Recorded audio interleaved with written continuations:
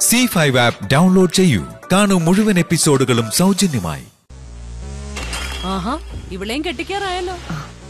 മോൾ പക്ഷെ ഒരു ജോലിയൊക്കെ കിട്ടിയിട്ട് കല്യാണം മതി എന്ന് പറഞ്ഞ് നിൽക്കുക ആ എന്നാ പിന്നെ ഇവക്കും അങ്ങനെ തന്നെ പോരായിരുന്നോ?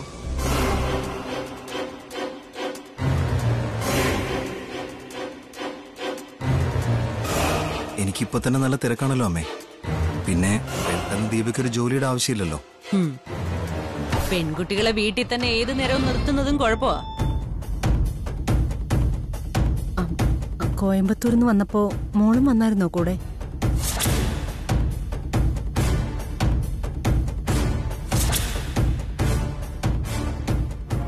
എന്തോന്നാ പറഞ്ഞത്? അല്ല ഇളയ മകൾക്ക് വേണ്ടി കോയമ്പത്തൂര് കൂട്ടിരിക്കാൻ പോയതാണല്ലോ ചേച്ചി. എന്നാ ആര് പറഞ്ഞു? ജയലാൽ ജയലാൽ പറഞ്ഞു.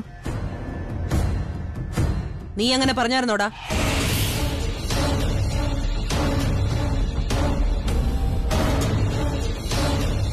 കള്ളം പറഞ്ഞ നിന്റെ കാരണക്കുറ്റി അടിച്ച് ഞാൻ പൊട്ടിക്കും.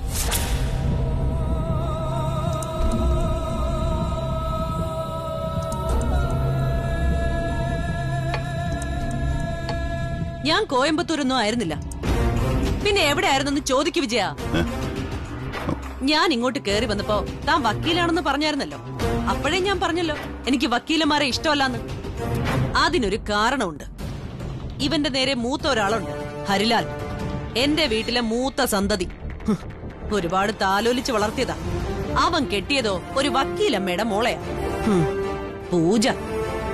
അവൾ ജനിച്ചപ്പോഴേ അവളുടെ അമ്മ അച്ഛനെ അടിച്ച് പുറത്താക്കിയതാ. അതാ എനം.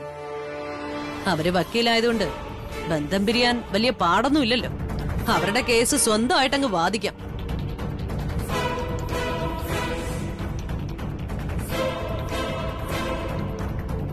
എന്തിന് പറയുന്നു?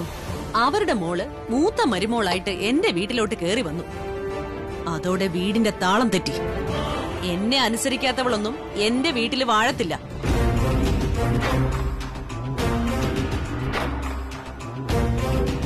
എന്നിട്ടും അവൾ വാഴാൻ നോക്കി. അവളുടെ അമ്മ വക്കീലാണല്ലോ.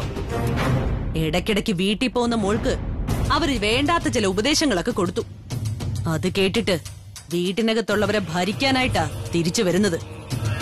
ആ ഭരണം കൂടിയപ്പോ കയ്യിൽ കിട്ടിയതെടുത്ത് ഞാൻ അവളുടെ തലമണ്ട അടിച്ചങ്ങ് പൊട്ടിച്ചു.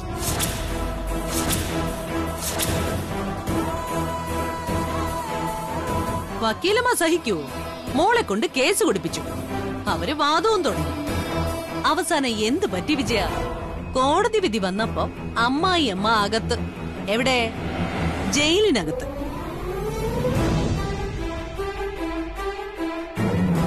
ഡൗൺലോഡ് ചെയ്യൂ സി ഫൈവ് ആപ്പ് കാണൂ എല്ലാ എപ്പിസോഡുകളും സൗജന്യമായി.